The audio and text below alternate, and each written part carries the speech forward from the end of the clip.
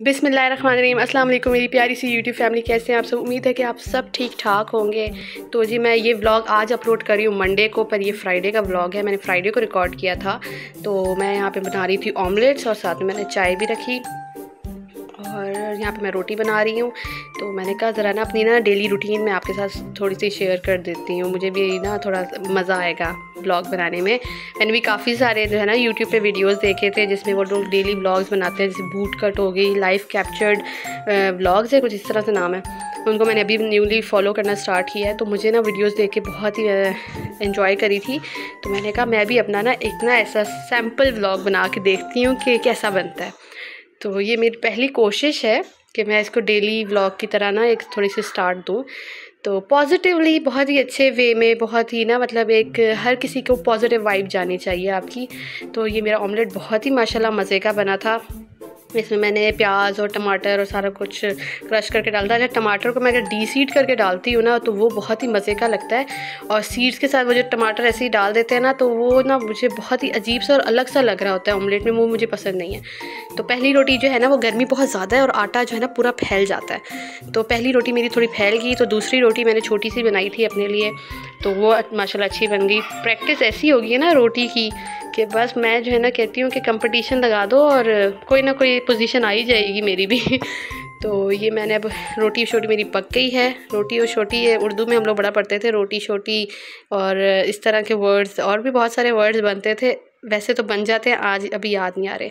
तो खाना शाना हो गया और उसके बाद अब मैं इसके लिए रेडी हो रही थी अपनी फ्राइडे रिचुअल्स जो आपके होते हैं फ्राइडे प्रेयर्स अच्छा मेरा दिल करता है गर्मियों में ना, आजकल पता नहीं मेरा दिल कर रहा है पेस्टल कलर्स हो लाइट कलर्स हो, जो बहुत ही रिफ़्रेशिंग लगते हैं। ये मेरा आइडियाज़ का ड्रेस है। बहुत ही खुला है, बहुत खुला है। तो मैंने पता नहीं क्यों ले लिया था एल साइज़ तो दो साल पुराना है। तो बहुत ही वैसे खुला मैं कर इसको ऑल्टर करवा देती हूँ। फिर ये पेयर्स का जो है ना, बहुत ही मज़े का है। इसका मैं अलग से रिव्यू लगाऊँगी बहुत मज़े का है ये बॉडी वॉश तो अब नमाज़ का टाइम था। ये जो है ना तस्वीर वाला जो मैंने वीडियो रिकॉर्ड की तो मैं जो है ना एस्थेटिक लेना चाह रही थी कुछ शॉर्ट्स तो मुझे समझ नहीं आ रही थी वो कैसे लेते हैं।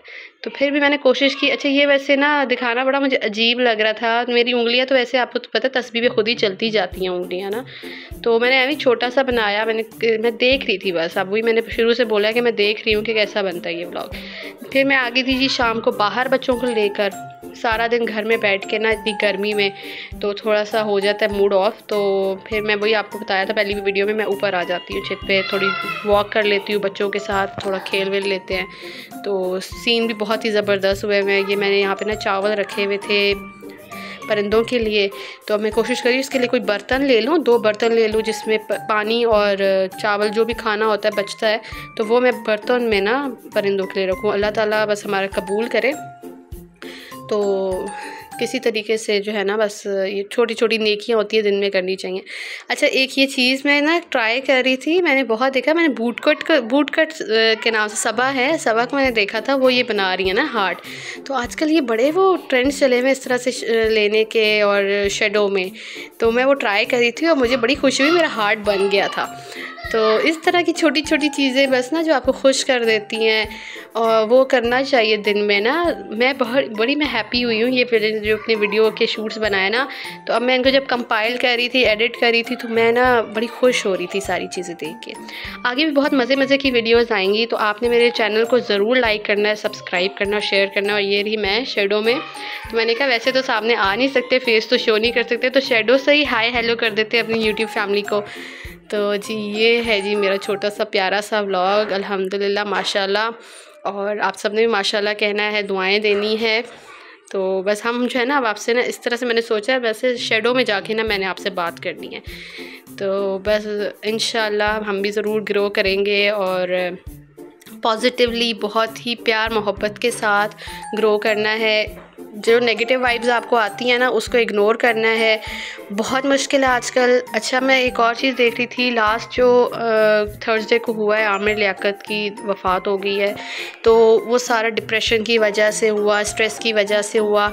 उसका बहुत ज़्यादा इन्फेसाइज़ हुआ हुआ था कि वाकई में हमें ऐसी चीज़ों को वैल्यू देनी चाहिए। अब अल्लाह ताला उनकी मगफ़रत करे, पता नहीं उनके साथ क्या हुआ, लेकिन बहरहाल हमें चाहिए कि हम जो है ना, अपने घर वालों का ख्याल करें, सबका ख्याल करें और डिप्रेशन और पॉजिटिविटी दोनों जो चीज़ें हैं ना, वो बहुत ही कॉमन है। अब आपने क्या चीज़ करनी है? ऑप्शन आपने कौन सा लेना है? वो हम पे डिपेंड करता है, हमारी मैंटेलिटी पे डिपेंड करता है। अच्छा जी, ये मैंने दराज से ना जिग जैग वाली जो नाइफ़ होती है, वो ऑर्डर की थी बच्चों के लिए। बच्चे वैसे फ्राइज़ नहीं खा रहे थे तो मैंने कहा डिफरेंट शेप की कोई चीज़ ऑर्डर कर देती हूँ, जिससे ना शेप डिफरेंट बन जाएँगी ना पटैटोज़ की तो ज़रा अच्छा आ जाएगा।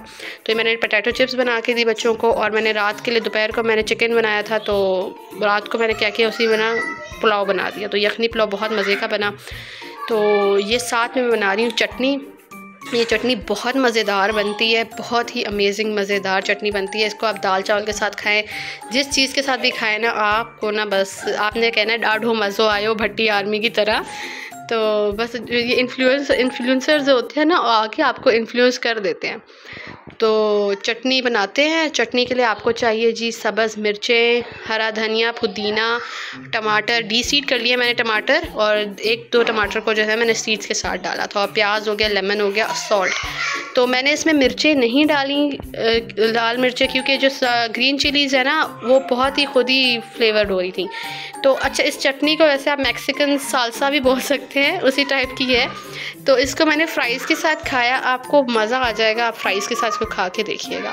और ये जो मेरा चॉपर है ना, ये जो है ना मेरे किचन की जान है, मेरे छोटे मोटे काम इसने इतने इजी कर दिए हैं। मुझे अब कोई भी ऑमलेट के लिए भी ना, मैं इसी में सब कुछ ग्राइंड करती हूँ।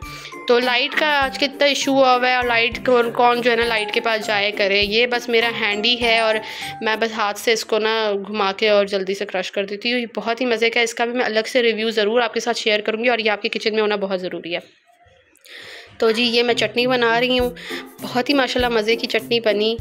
तो आपने भी ज़रूर ट्राई करना है और मुझे बताना है कि आपको कैसी लगी है। तो इसको वैसे अगर आप सिंपल सिर्फ़ फ्राइज़ के साथ खाते हैं ना, सालसा बना के, बहुत ही मज़े का लगेगा। आप यही समझेंगे कि आपने मैक्सिकन सालसा खाया टैकोज़ के साथ।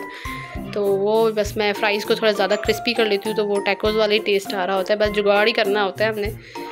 तो ये बहुत ही मज़े की बन जाती है। इसको मैं अभी और ज़्यादा जो है ना, वो क्रश करूँगी। ज़्यादा क्रश करने के बाद ग्राइंड करने के बाद जो है ना, ये बिल्कुल अपना सही उसमें आ जाएगी। आप लास्ट में इसकी पिक्चर ज़रूर देखेंगे कि मैंने इसको किस तरीके से खाया। ये पुलाव के साथ, हर चीज़ के साथ बहुत ही मज़ेदार लगती है और आजकल गर्मियाँ है ना तो गर्मियों में इस तरह की चीज़ों का ना बहुत ही मज़े का स्वाद आ रहा होता है। तो बस आपने भी यही कहना है, हम सिंधियों की तरह ॾाढो मज़ो आयो मुझे तो ये वर्ड बहुत मज़े, मैंने कहा, यार देखो, जब सिंधी ये लफ्ज़ बोलते हैं ॾाढो मज़ो आयो तो ठीक लगता है। लेकिन जब जब कोई पंजाबी या कोई और लैंग्वेज बोलने वाला जब ये वर्ड्स बोलते हैं ना तो कितना एक क्यूट सा लग रहा होता है कि हाँ यार, कितना मतलब अच्छा बोल रहा है, कितना प्यारा लग रहा है बोलते हुए। तो भट्टी आर्मी को मैं फ़ॉलो करती हूँ। भट्टी आर्मी क्या, भट्टी, हमजा भट्टी को मैं बहुत फ़ॉलो करती हूँ और उन्होंने जो इस्लामाबाद के फ़ूड के वो सारे लगाए हुए ना तो बस वो मैंने सारे डायरी पे नोट कर लिए हैं और मैंने वो सब कुछ ट्राई करना है। तो ये जी मेरी चटनी तैयार हो गई है।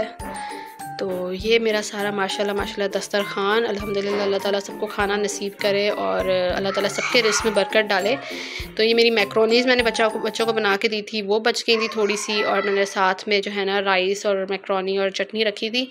तो अल्हम्दुलिल्लाह, खाना बहुत ही मज़े का सबने बहुत ही शौक़ से खाया, सबको बहुत ही अच्छा लगा। ये रही जी मेरी प्लेट। तो मैंने इसमें से ना चावल आधे निकाल दिए थे, क्योंकि मुझे बहुत ज़्यादा लग रहे थे बाद में।